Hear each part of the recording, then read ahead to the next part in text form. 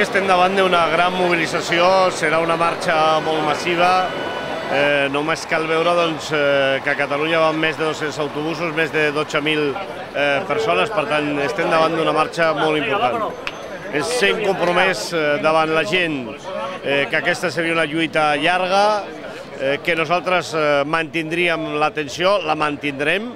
El govern ha de ser conscient que això no s'acaba fins que no ens retornin els drets que ens han tret, tant des del punt de vista social com des del punt de vista eh, laboral. I és un avís al govern del PP. El govern del PP ha de ser conscient doncs, de que ha de retirar eh, aquestes mesures, que ha de negociar i que ha de fer una política eh, que vagi en una altra direcció, que és possible.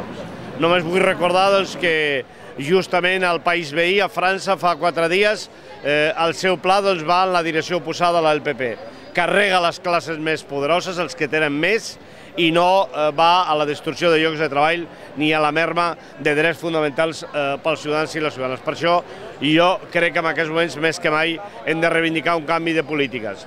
I això serveix pel govern de l'Estat i serveix pel govern eh, de Catalunya, que no pot sumar les retallades de Madrid, les retallades que s'estan fent a casa nostra i en aquest sentit doncs, aquesta marxa, encara que es faci a Madrid, com tantes vegades quan es fa a Barcelona, també eh, en aquest cas serveix perquè el govern de la Generalitat prengui bona nota i canviï les seves polítiques.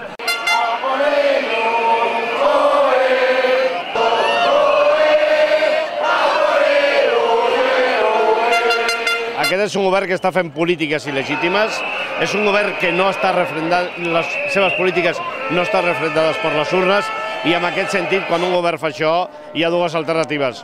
O se dissolen les cortes i els Corts i es convoquen eleccions generals, o eh, hi ha un referèndum. En aquest sentit, crec que és l'hora de cridar la ciutadania a que sigui la que realment decideixi si vol aquestes polítiques o vol unes altres polítiques. Porque no es el tiempo de carta blanca para los mercados. Es el tiempo de más política, de elevar la política, devolver la palabra a la ciudadanía, incluidos aquellos colectivos, hombres y mujeres, que votaron al Partido Popular, tienen derecho a que se les explique primero por qué se abandona el programa con el que se concurrió a las elecciones y a que se les permita expresar su opinión como aquí hoy, pero en las urnas, a modo de referéndum. Y lo único que tenemos al alcance de nuestra mano es la movilización y un referéndum que se consulte al pueblo español, que es su derecho.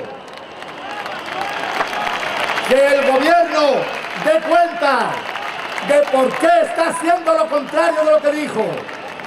Y lo justifican diciendo, porque lo ignorábamos, yo no sé qué es peor.